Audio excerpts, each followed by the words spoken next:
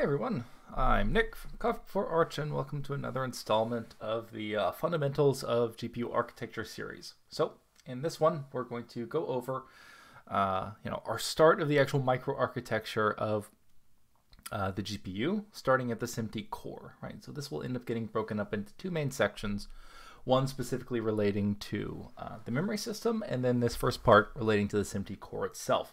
And itself, we'll split this into a couple different videos uh, just to kind of just to keep them as self-contained topics. So what are we actually going to discuss? So like I said, um, this is really broken up into two chapters. So one of them examining the SIMT cores. So just as a reminder, SIMT stands for single instruction multiple thread. Uh, and how they're implemented. So, you know, we've got this kind of parallel programming model. So how does that translate to the actual hardware? And then the second part of it is uh, the actual memory system, which will be the next chapter. So um, let's get started. So that's kind of a little bit of a background to the microarchitecture.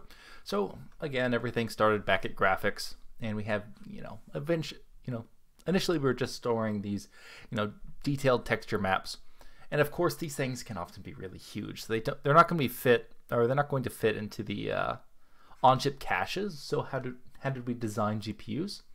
So in order to have high performance, uh, what we end up having to do is, you know, we just we wanted to make an architecture that can sustain, uh, sustain large off-chip bandwidth. So this is why we have, you know, uh, instead of you know just DDR, we have GDDR, right? So the the graphics double data rate, uh, memory, right? So you know higher bandwidth memory. And even even now in some models we don't even have DDR or GDR DDR we've got um, uh, HBM or high bandwidth memory. Uh, okay. So you know we have tens of thousands of threads concurrently so this can be kind of tough with all the caches right? If we have lots of things kind of doing loads or stores then uh, you know it's hard to exploit locality there uh, just because you know we could be accessing tons of different data so it'd be really difficult to build a cache that can really sustain that. But that's not to say that caches don't work at all right? So caches can still be effective because you know a lot of times you know there still is fundamentally some kind of locality.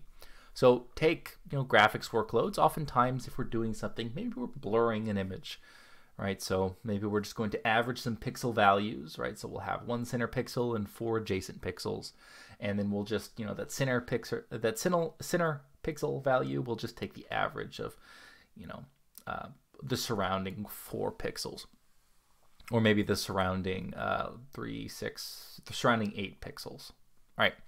Uh, so there can be some significant spatial locality because we, if we move one pixel to the right, well, you know, we're going to be using a lot of the same values and same if we move one pixel up or to the left or down, right? So, you know, a lot of times these caches are useful.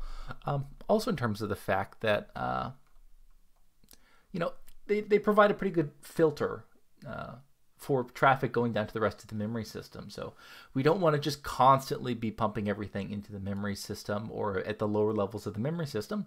If we can filter some of it out and you know remove some congestion uh, further down, it's always a good thing. So what we're really going to talk about in this chapter is really understanding how a single SIMT core works. Uh, and how it's really divided into a SIMT front end, front end and a SIMD, or single instruction multiple data, back end. So what these typically uh, get broken down into as well is uh, three main scheduling loops, right? So one of these is an instruction fetch loop. So this is made up uh, of, uh, so we'll go into that in just a second. So we have an instruction uh, fetch loop, we have the actual instruction issue loop, and then the actual register access scheduling loop. So you know, basically fetching instructions, issuing instructions, and then, you know, uh, scheduling how we access the register file. And so those are the main schedulers we have. So as part of the instruction fetch stage, you know, this typically involves uh, the iCache, the instruction cache, you know, the decode logic, and then uh, the instruction buffer. So then after we do um, fetch, uh, we're going to issue, right? So the issue loop consists of the I buffer, so where do we put the instructions that we fetched, um, the scoreboard, and then uh, which is going to handle some of our dependencies, and then also issue, right? So uh, now that we've got everything, uh, now that we're ready to, you know, start an instruction, right, and execute it, or we have to, you know, that's part of the issue stage. Uh, and then also the SIMT stack. So, you know, at every single instruction, we need to see which threads are actually active, and that's what we'll really focus on in this video. So, uh, and then finally, we have the register access scheduling loop. So this this contains the operand collector, ALU, and memory, and we'll go into the operand collector in greater detail later. But basically, you know, because we have so many threads and we have limited ports on things like a register file, you know, we could wind up with some port contention problems. So what the operand collector really helps us do is schedule reads to the register file in such a way to remove um, remove conflicts. And then the rest of it is, you know, really just more part of execution, right? So we've got ALU for you know ALU operations and memory for the memory system operations like loads and stores. Um, okay, so in this chapter, we're going to really dig into those blocks and really understand them, uh, leaving out the memory system for the next chapter. So, you know, we're going to start at kind of a 10,000 foot view. We're going to work our way down to, you know, uh, say a 5,000 foot view and then down to, say, an 1,000 foot view. And we're going to do that uh, with these increasingly accurate descriptions that we'll call approximations because it's not going to include every detail of GPU architecture because A, they're not all completely available, and then B, often they're not, often, you know, some details will be very architecture specific, so to a specific implementation, uh, and it's not really useful to get, you know, too you know too drawn into those details. We really want to think of it a little more holistically uh, from a little bit of a higher level uh, to really understand the greater, uh, the higher order trends going on. Uh, so, you know, here's here's the uh, here's the basic, you know, overall you know organization. So we've got you know the split between the SIMT front end and the SIMD uh, data path. Right, so the SIMT front end, like we said, we've got fetch, the iCache decode, instruction buffer and scoreboard, issue and the SIMT stack. And then the when we're actually you know getting to the data side of things and the actual execution, we've got you know the operand collector, which will schedule our register file reads, and then also also feed into the execution stage with the ALUs and the memory, right, for the load store units, etc. So you know, in in these uh, approximations that we're going to be doing. So we will start with a one loop approximation. So we'll just consider one scheduler, right? And then we'll gradually build on and add more schedulers until we have, you know, our, our three loop approximation. So let's start with a one loop approximation. So what is a single scheduler? Uh, and this is not unlike if you were to just read a CUDA programming manual. So a lot of times, you know, the low level details are going to be abstracted away from you. Uh, you know, by the programming model. But, you know, in this case, you know, being computer architects or GPU architects, uh, you know, we really care about these low-level details that are usually hidden from programmers. So, uh, okay, so let's go ahead and look at that. So again, as kind of a reminder, you know, because we're talking about things that are SIMT or single instruction multiple thread, we're talking about things that are grouped as warps or wavefronts. So we have, you know, a group of, in this case for warps, uh, 32 threads. In a case of wavefronts, it's going to be 64 threads that, you know, they'll have a single instruction that will get executed for multiple threads, so SIMT. So, um, you know, this is the unit of scheduling that we're going to look at. So we're talking about this one loop, you know, the scheduling is going to be, you know, at the warp level. Uh, so in each cycle, what happens? So uh, first, the hardware selects a warp for scheduling. So which warp out of, you know, we have a big thread block.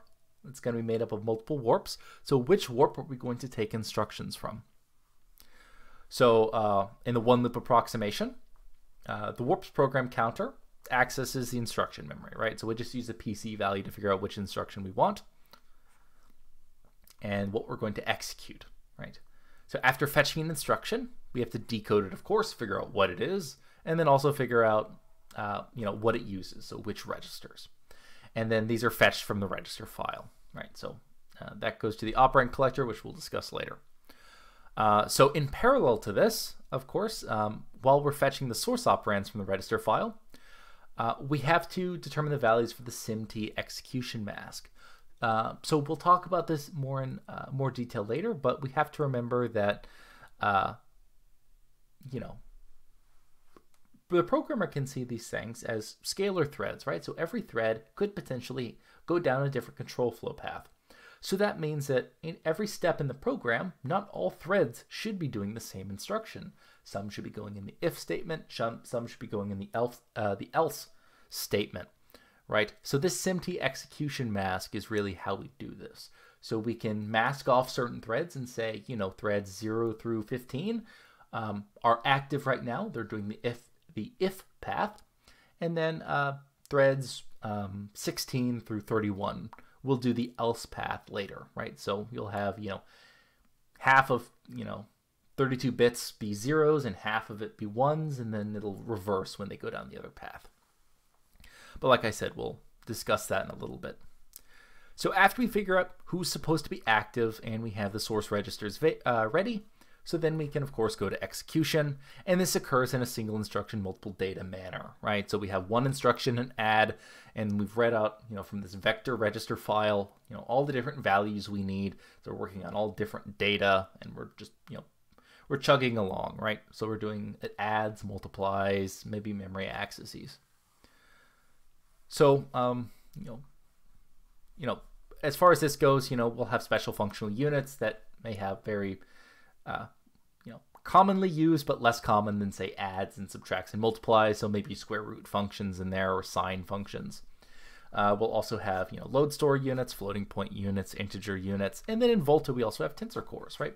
So this is more for matrix multiplication um, and addition kind of operations. Uh, uh, that's really useful for things like machine learning, which is mainly uh, things like matrix multiplication. So uh, just as a brief aside, so when we're talking about these, so you know these ALUs, they're also you know you can think of them as wide ALUs. So these functional units will often contain as many lanes as there are threads within a warp. So it'll be a 32 wide special functional unit or a 32 wide integer functional unit, etc. Uh, but that's not necessarily the case. Um, it doesn't have to be the case.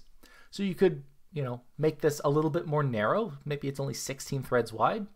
Uh, and you could pipeline it, and then you could, uh, like I said, increase the clock speed, and then, you know, you can get higher performance per unit area at the expense of some increased energy consumption, right? And so you can pipeline the execution units uh, or in increase the pipeline depth, right? Okay. So let's let's talk about the more interesting part of this, right? So which is the SIMT execution masking, right? So that's that's the thing that we've kind of pushed off to the side up until this point, and now you know we can't avoid it any longer. So you know how do we determine which threads should be active and how do we keep track of it? So um, from the standpoint of functionality, you know we have this abstraction of individual threads that can be completely independent.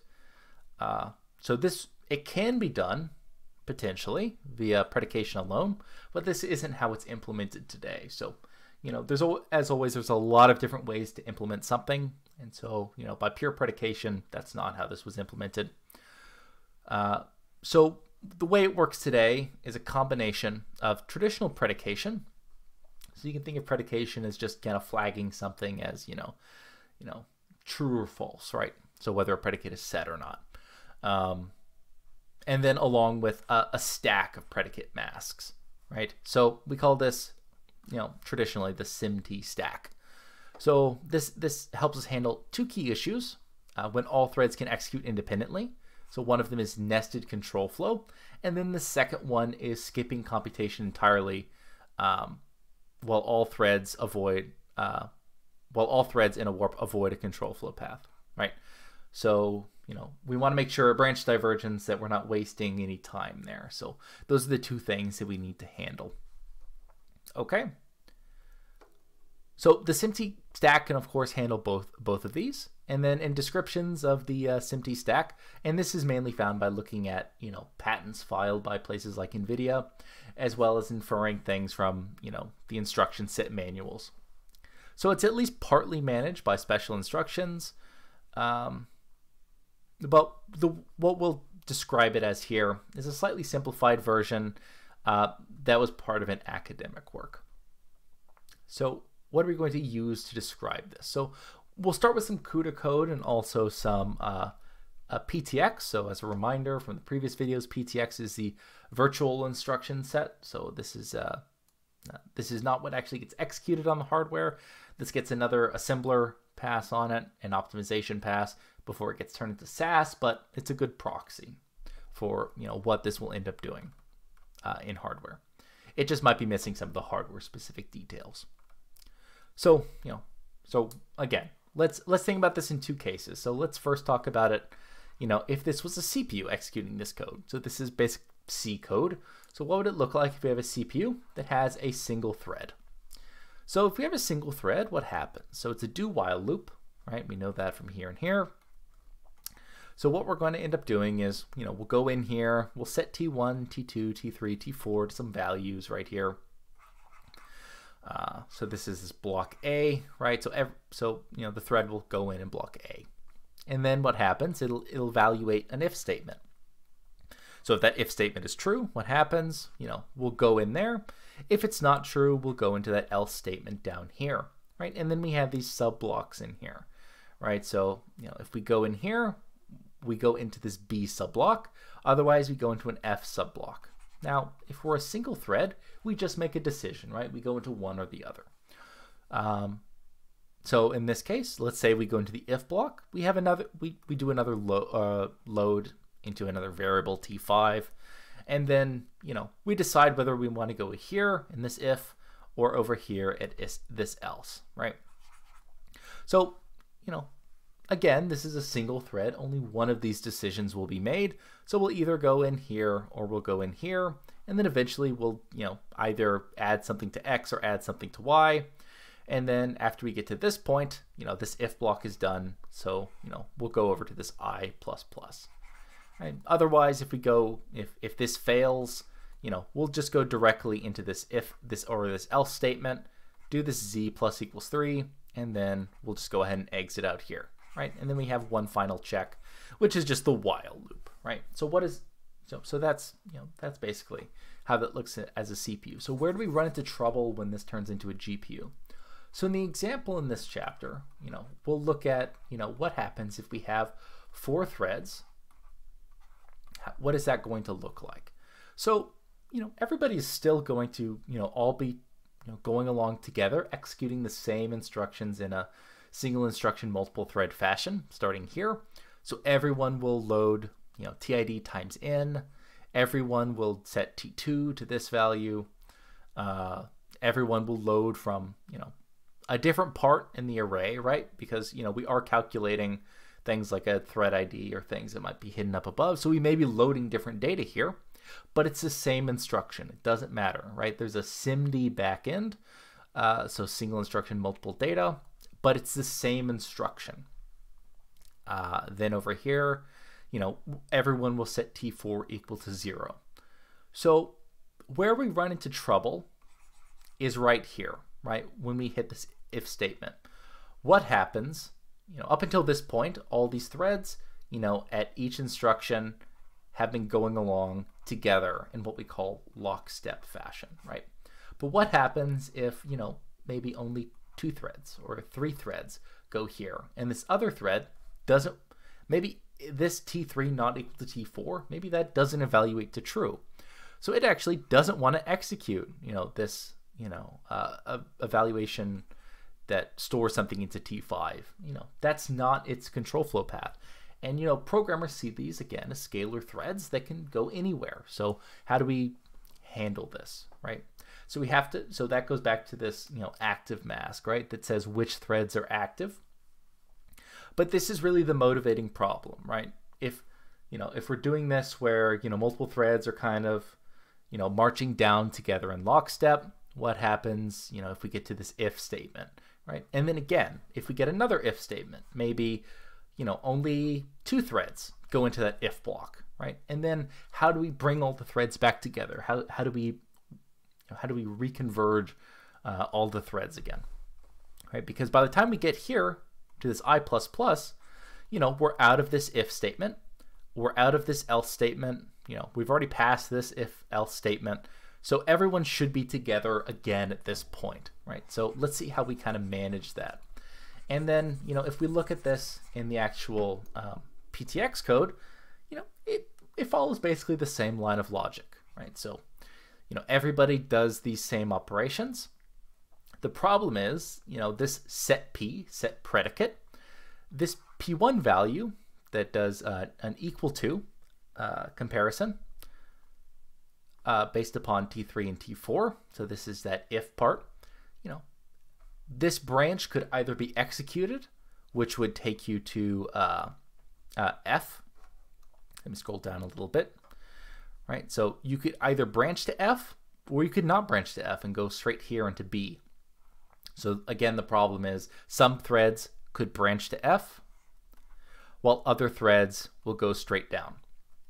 So uh, we don't need to go much more into the this assembly. It's the same idea as that CUDA code.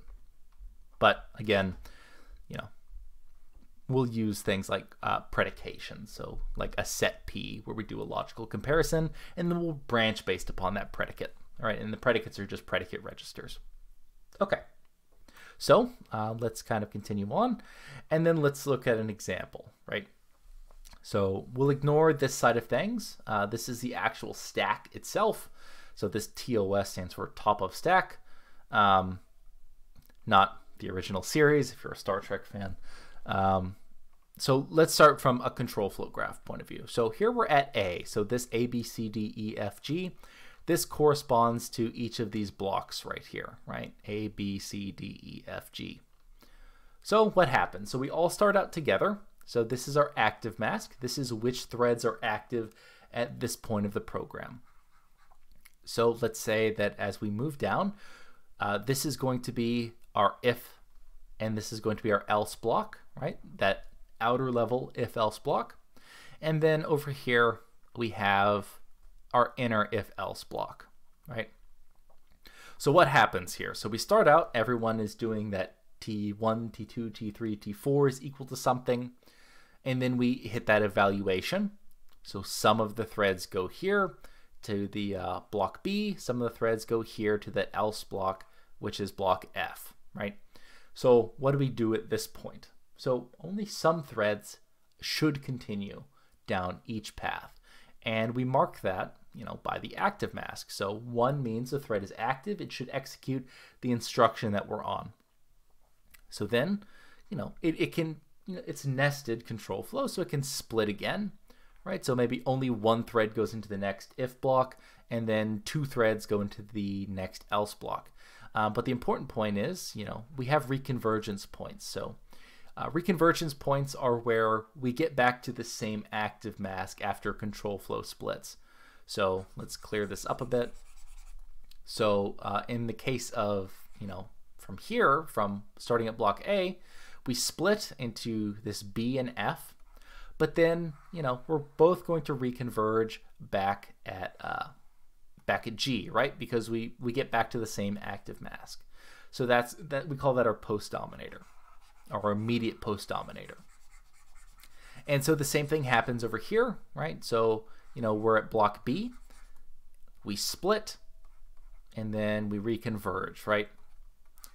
Right, so this is going to be our reconvergence point uh, for block B in this case.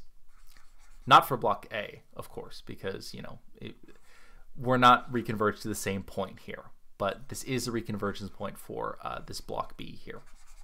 Okay, so again, let's just kind of summarize this. So we start out with everyone active. People, uh, threads go different ways, not at the same time. This has to be serialized. And so we see that kind of here. So this is a little better visual description of what happens. So we start at A, right? So everyone's going together. And then our control flow splits. We get if else. So we'll pick one path to go down. Typically this is uh, the majority path. So where most of the threads go. So we, we start at B, you know, and then we follow down that control flow path. So if we go back up here, we get to B, and then we go to C, and then our control flow splits again, right? So we get an if and else, right? So what we'll do is we'll serialize it again. So, you know, maybe first we'll do C, then we'll do D, you know, and then after that we reconverge, and then both, you know, all three of these threads will all do E, right? Uh, now, you know, this is mainly for illustrative purposes where it shows um, you know, we don't necessarily have to. There's nothing that dictates whether or not we should execute, you know, the majority path first, or in this case, when we have, you know, split divergence again, they execute the minority path first. This is really just kind of an implementation de- decision, and we'll see that, you know, they cite a paper that says, you know, typically majority path work uh, first, you know, limits the the stack size, uh, the SIMT stack size.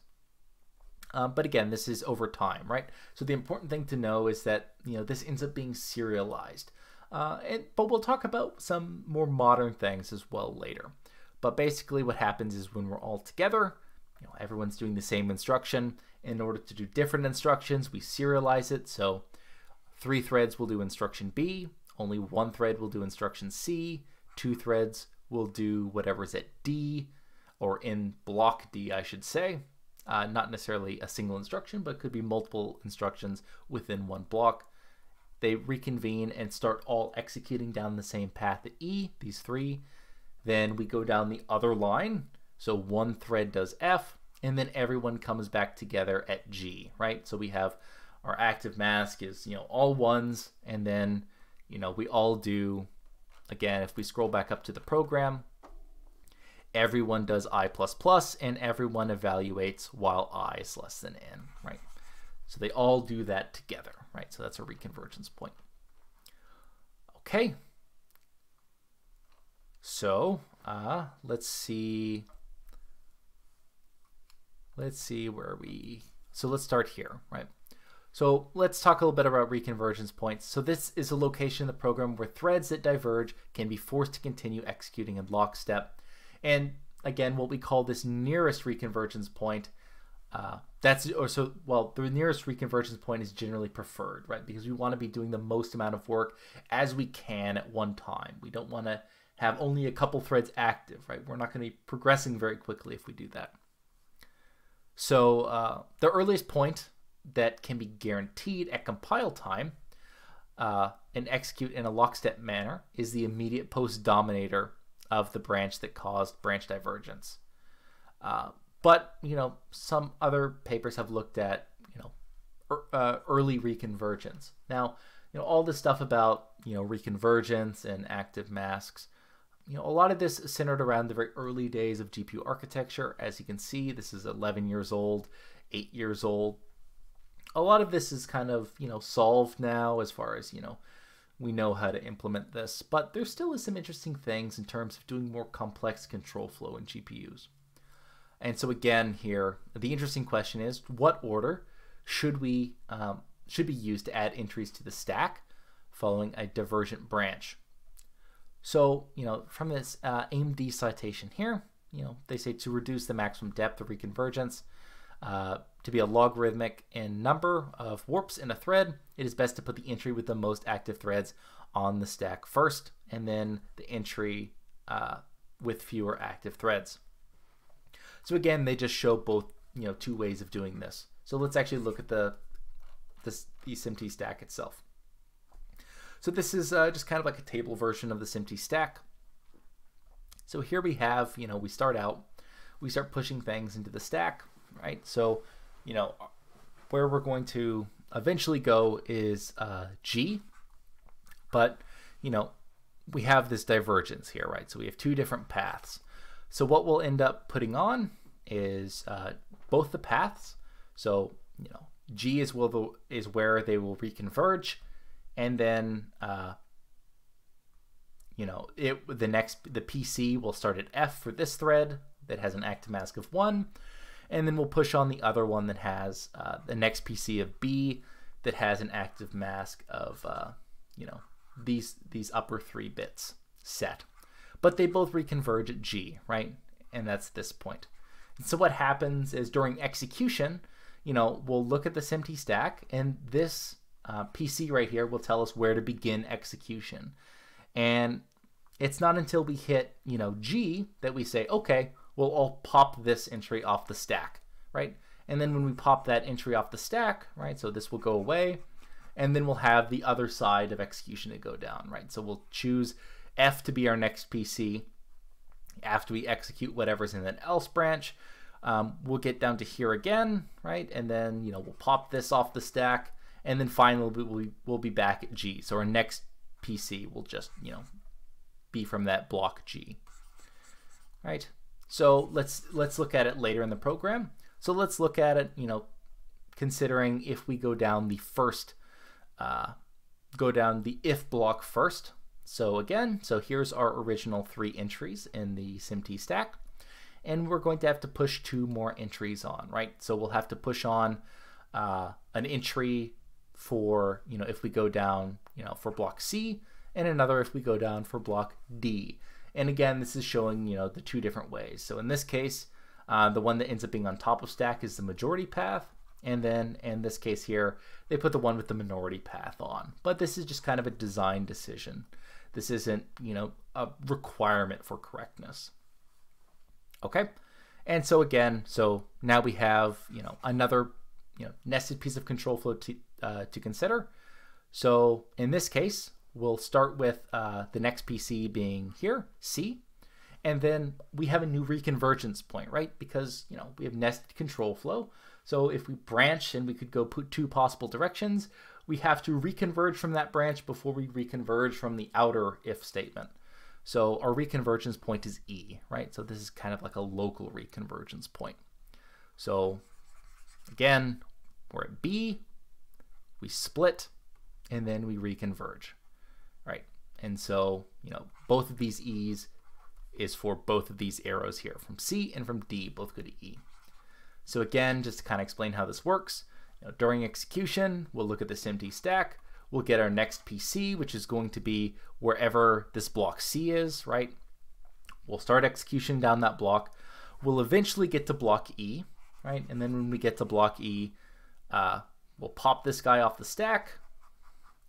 This, uh, this next entry will become the top of the stack. And then we'll just start executing, you know, whatever is at block D, right? And then we'll go down until eventually we get to the PC value of E which will be our reconvergence point. So we'll pop this guy off the stack, and then we can start, um, you know, going.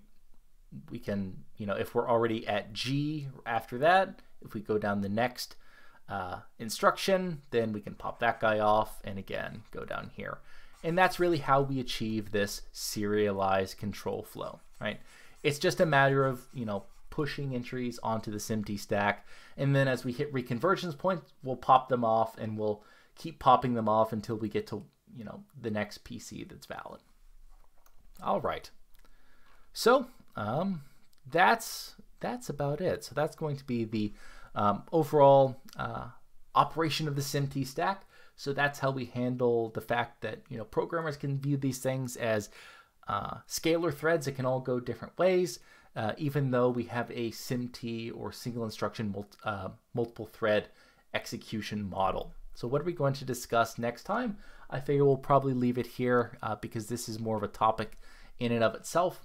So, you know, you may be wondering, well, you know, what happens if, you know, we get stuck someplace where, uh, you know, part of our threads are waiting in half of, uh, or half our threads are active they're in an if block, and maybe there's a synchronization call, right?